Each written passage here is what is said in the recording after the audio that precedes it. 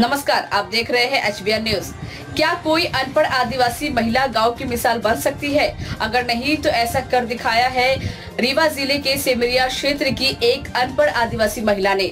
जी हाँ इस गाँव में डकैत और बदमाश जाने से डरते हैं। पुरुष अपना काम करते हैं और गाँव की महिलाएँ घर की रखवाली करती है। इसी को देखते हुए प्रदेश के मुख्यमंत्री ने उन्हें उपाधि दी है और सुंदरिया और उनकी टीम को बंदूक के लाइसेंस भी दिए हैं।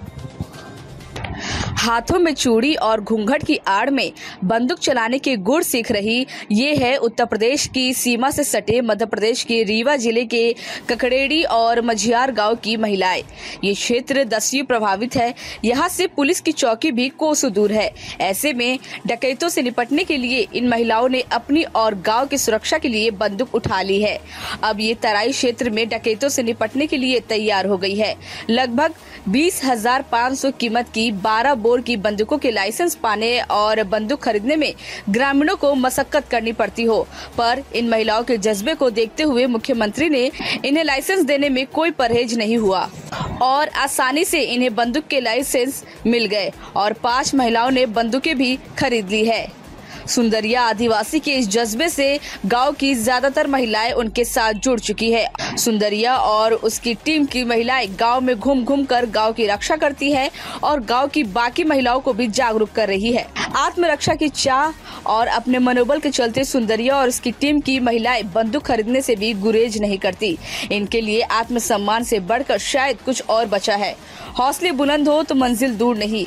यही है सुंदरिया की कामयाबी का रहस्य। सुंदरिया ने गाँव में अलग जगाने का बीड़ा उठाया और उसकी मेहनत रंग लाई एक एक करके कारवा बनता गया और लोग उससे जुड़ते गए। Bureau report H news. जैसे हम लोगन कहिए, पहले हैं डकैत, जैसे हमारा है क्षेत्र।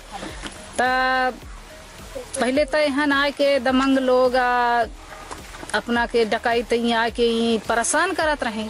जिन्हें से हम लोग बंदूक पाएन जिन्हें से हम महिलाओं सब इकट्ठा भैन एक ताकत में भैन त जिन्हें से मुख्यमंत्री हमका स्वयं बंदूक दे दी तो हम पचे गाँव की रक्षा करे के लिए बिल्कुल तैनात रही थे जो कि उन्हें से आतंकवादी नहीं आमे और दमंग लोग हमका नहीं डरवा पावे जो कि हम सब महिला मिल के साथ में उनसे स्वयं सामना करी थी।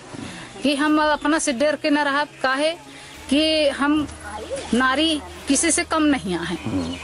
त महिला से नारी शक्तिकरण आए तो हम लोग हम मझियार की महिला हमारे सब साथ में चलती हैं, और साथ रहती हैं एक समूह की, सारे समूह की रहती हैं साथ में। और सब महिला साथ में हिटती हैं, सब अपने ताकत बल से रहती हैं कि जो कोई डरवावे वाला दमंग आवत है तो ओखा खुद के ओखर सामना करती हैं ओखर डरवाती हैं कि हमारे गाँव में हमका आँखी न दिखाई, कौन उम्र से, हम अपना से कम नहीं आन दारू पैसा हियन बिके पैसा नहीं बटाने का दारू बिके दारू यहाँ नहीं बिके का ये हम महिला सब थाने हैं। यदि दारू पैसा बिकी तो वहाँ कानूनी कार्रवाई किए जाएगी। जो कि दमंग लोग डरवावा थे तो दमंगाई के साथ हम डरवाई थे कि तुम दमंग है तो हम दमंग है हम खा आखिर तुम न देखा। जो कि हमारे नौ लोगों का बंदूक मिली है। तो जंगल क्षेत्र से लगा हुआ हमारा गाँव है, डकैत देश है। तो हम लोग मुख्यमंत्री जी से मांग की है कि हम ही आतिमा की रक्षा की खातिर बंदूक चाहिए, जो कि हम अपने पुरुष लोग, हमारे भाई नहीं रह पावे घर में। तो जब नहीं रहें तो हम कौनो परेशानी आई तो हम मतलब सामना कर सकी। तो ये से कि बंदूक के हम लाइसेंस मांगन, मुख्यमंत्री हमका लाइसेंस दीन मुख्यमंत्री द्वारा हमका लाइसेंस मिला।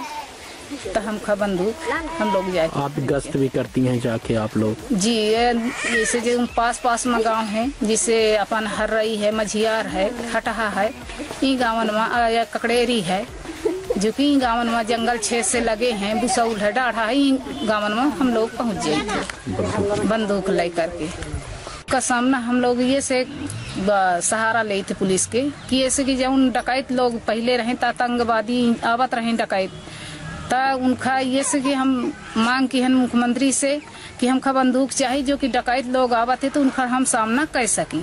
तो जब से ये बंदूक हम लोग पाए गए तो अब यहाँ मतलब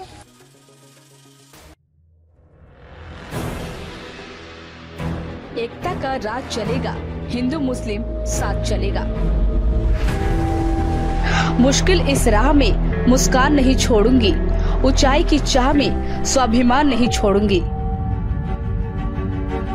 महुआ विधानसभा क्षेत्र के दोनों प्रखंड के अंतर्गत विभिन्न पंचायतों में पिछले तीन सालों से मेडिकल कैंप लगाकर लोगों की सेवा में तत्पर।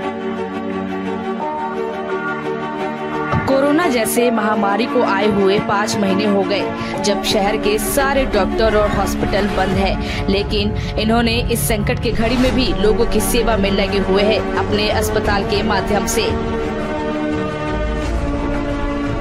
पिछले पाँच महीनों से कोरोना वायरस जैसे खतरनाक बीमारी से बचने के लिए लोगों के बीच साबुन, मास्क का वितरण और लोगों के बीच घूम घूम कर इस बीमारी के खिलाफ सजग रहने की सलाह दी।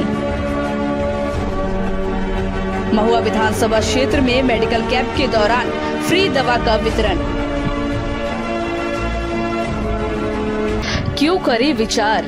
ठीक तो है, नीतीश कुमार, डॉक्टर आसमा परवीन। प्रदेश महासचिव जदयू बिहार स्वभावी विधायक प्रत्याशी, महुआ विधानसभा 126 संस्थान, Misha clinic private limited, Johari Bazaar, Hajipur Vaishali.